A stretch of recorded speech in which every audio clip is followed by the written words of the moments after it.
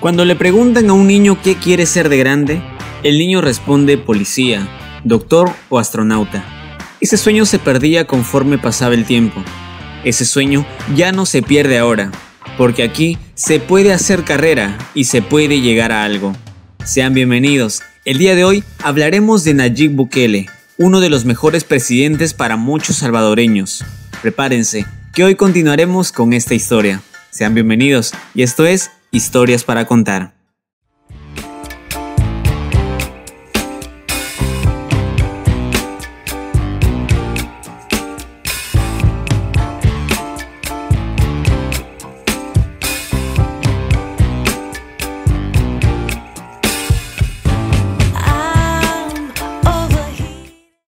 En este segundo video hablaremos de la ruptura con el oficialismo y triunfal envite presidencial en el año 2018.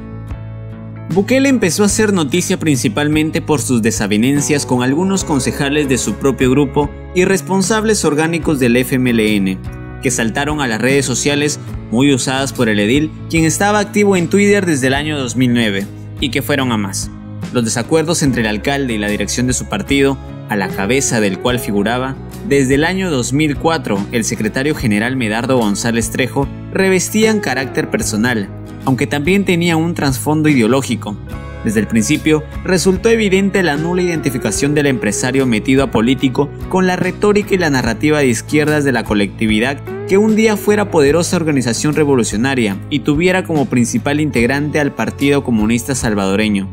Más aún, Bukele comenzó a verter duras críticas a la labor del gobierno nacional. El choque culminó el 10 de octubre del año 2017, día en que el Tribunal de Ética del FMLN resolvió expulsar de sus filas a Bukele al hallarle culpable en el proceso disciplinario abierto en su contra. Entre otras cosas, el alcalde era acusado de violar la Carta de Principios, Objetivos, Estatutos, Reglamento y demás normas del partido, y de cometer actos difamatorios, calumniosos e injuriosos contra la imagen y el honor del presidente Sánchez Serén y miembros de la ejecutiva del partido. Además, pesaba el altercado, constitutivo, según el FMLN, de un grave irrespeto a los derechos humanos de la mujer, vivido por la síndica de la alcaldía, Xochitl Marchelli, quien aseguraba que Bukele, durante una sesión del Consejo Municipal celebrada el 6 de septiembre anterior, la había agredido verbal y físicamente al llamarla maldita traidora y bruja, y haberle arrojado una manzana con intención de lastimarla. Al parecer, Bukele estaba irritado con Marchelli porque ésta quería que se discutiera el tema de la imputación de un delito de acoso sexual, amenazas y lesiones a mujeres contra el jefe administrativo del Cuerpo de Agentes Metropolitanos, Herbert David Rivas Martínez, ya detenido por orden de la Fiscalía General de la República.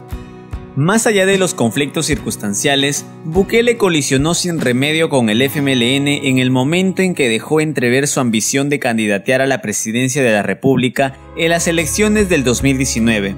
puesto que el FMLN no toleraba sus argumentos de conducta personalista. El alcalde, ahora mismo un independiente no adscrito pero lleno de inquietudes reformistas, se lanzó de inmediato a la construcción de una plataforma sociopolítica a su gusto y medida. Escasos días después de su expulsión del FMLN, partido que, al igual que Arena, no era otra cosa que una maquinaria electoral al servicio de las oligarquías, su primer movimiento fue anunciar por video, desde Facebook, y empleando la etiqueta hashtag Hagamos Historia, el movimiento Nuevas Ideas. Este surgía como una amalgama de grupos espontáneos de ciudadanos que compartían propuestas de mejoras para El Salvador y generaban debate público,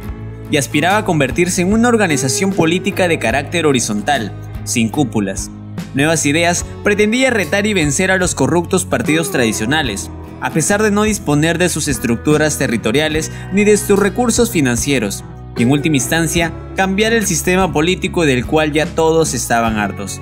El círculo inicial de colaboradores de Bukele en su nueva empresa política lo componían funcionarios, asesores y otras personas de confianza de su equipo municipal en San Salvador.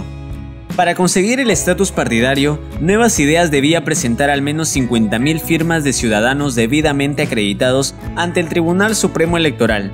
El 8 de mayo del 2018, una semana después de concluir Bukele su ejercicio en la alcaldía, el secretario general del protopartido, Federico Enlíquer, hizo entrega de las rúbricas válidas, y no solo 50.000, sino 200.000. Sin embargo, el Tribunal Supremo Electoral se tomó con parsimonia la verificación de todo este acopio de firmas, y el proceso de registro legal empezó a dilatarse.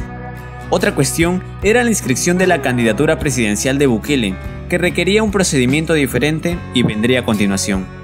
Impaciente por la demora de las instituciones, Bukele denunció ser víctima del sistema y amenazó con demandar ante instancias internacionales al Tribunal Supremo Electoral si no legalizaba ya a nuevas ideas. Las elecciones presidenciales estaban programadas para el 3 de febrero del 2019, con eventual segunda vuelta el 10 de marzo y la inscripción de candidaturas tenía de plazo entre el 3 de octubre y el 5 de noviembre del 2018.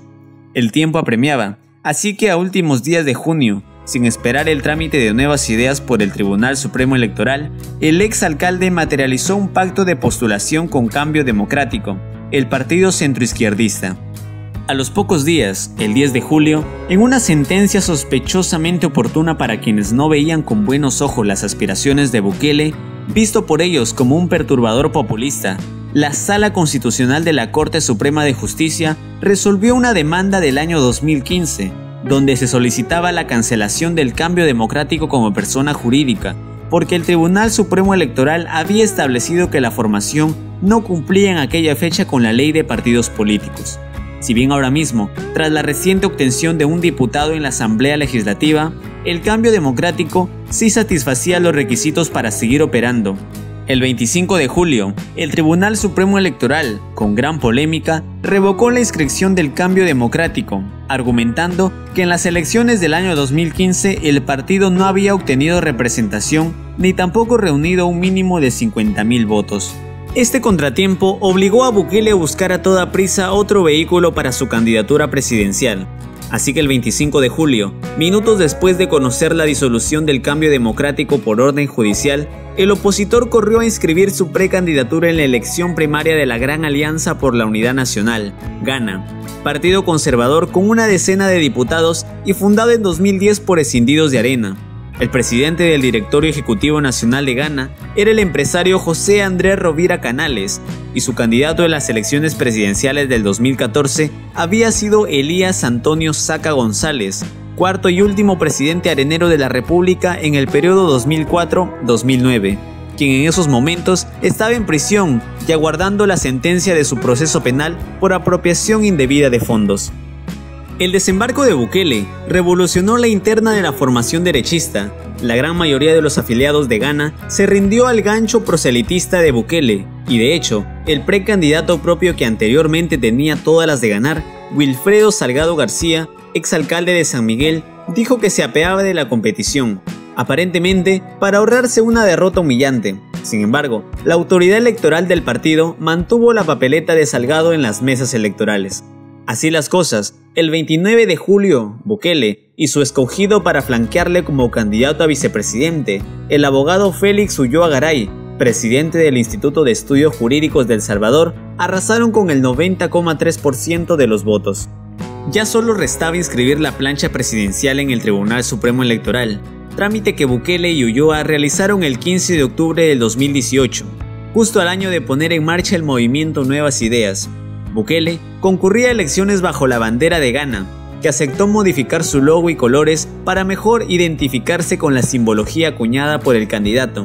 una golondrina blanca en vuelo sobre fondo azul celeste, aunque su filiación seguía siendo la de Nuevas Ideas, al que el Tribunal Supremo Electoral finalmente dio registro el 21 de agosto. Además, Bukele recibió la adhesión de los partidarios del ya extinto Cambio Democrático, en las urnas iba a batirse con los pretendientes de Arena, Juan Carlos Calleja Hacker, rico propietario de una cadena de supermercados, y el oficialista FMLN, Hugo Martínez Bonilla, hasta mayo, el ministro de Relaciones Exteriores de Sánchez Serén.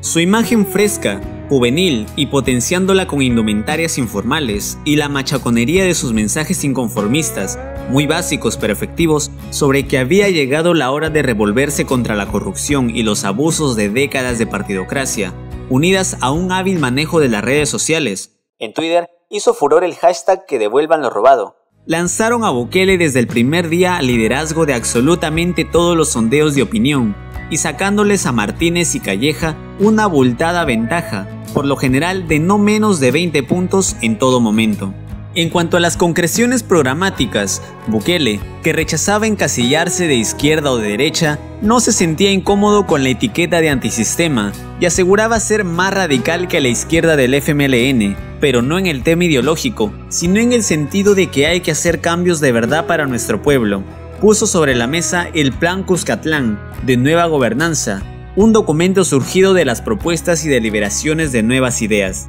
En su plan de gobierno, el candidato opositor mencionaba una serie de proyectos insignia. Entre ellos estaban el tratamiento de la inseguridad y la violencia desde tres ejes, el de la prevención, consistente en impedir el reclutamiento de más jóvenes por las pandillas mediante actuaciones de inclusión social, el del combate policial y el de la reinserción de los delincuentes, el proyecto Dalton, con la oferta de 20.000 becas para la formación en universidades extranjeras de estudiantes salvadoreños, que luego tendrían que regresar al país para volcar aquí el conocimiento adquirido. Mi nueva escuela, para modernizar los centros de enseñanza infantil y mejorar el rendimiento académico. Nacer Crecer, Franja del Norte y Franja del Pacífico, con actuaciones específicas para la reducción de la pobreza y el desarrollo humano, empujando los sectores agropecuario y pesquero de las regiones más pobres del país, el aumento de la dotación del Fondo para el Desarrollo Económico y Social del Salvador, FODES, dirigido a los municipios, la excepción del pago de impuestos, incluido el IVA a 100.000 familias en especial situación de vulnerabilidad, y la creación de una Comisión Internacional contra la Impunidad en El Salvador. Bukele, quien siendo alcalde de San Salvador había sido acusado de pactar con las pandillas que controlaban el barrio capitanino, donde el ayuntamiento construyó e inauguró en 2016 el mercado Cuscatlán, diagnosticaba que las maras eran un poder fáctico, con el que el Estado debía competir para ganarse a los jóvenes, pero sin llegar a negociar con ellas. El documento programático mencionaba también la evaluación de la creación de un fondo público de pensiones, reforma que daría una mayor cobertura a la población pero de la que no se aclaraba el mecanismo de cotizaciones, así como el lanzamiento de grandes obras de infraestructuras de comunicaciones, logísticas y turísticas, y de regeneración medioambiental, como el Aeropuerto del Pacífico en la Unión, el ferry regional, el ferry nacional y el metro elevado San Marcos-San Salvador a Popa. Para la financiación de estos proyectos de infraestructura insignia, el Plan Cuscatlán preveía un desembolso mínimo de 1.525 millones de dólares y un máximo de 2.455 millones entre 2019 y 2024, correspondiendo el grueso de estas inversiones al capital empresarial privado. Por otro lado, indagado por sus creencias religiosas al ser hijo de musulmán y de cristiana católica, el candidato confirmó que era una persona creyente en Dios aunque no pertenecía a ninguna religión.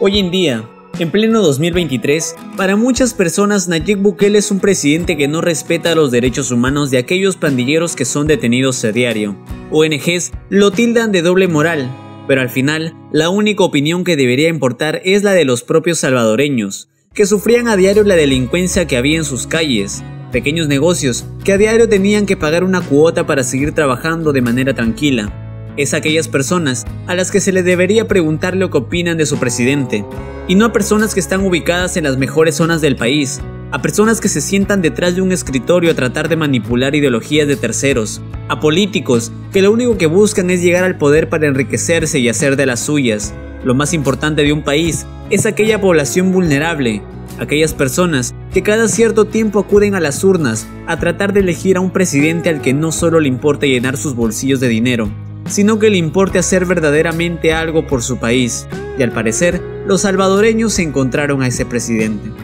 Mi nombre es Daniel, y esto fue Historias para Contar.